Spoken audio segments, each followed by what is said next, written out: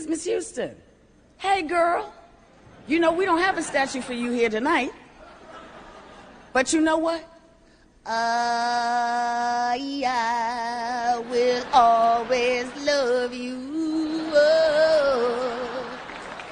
You know? yeah.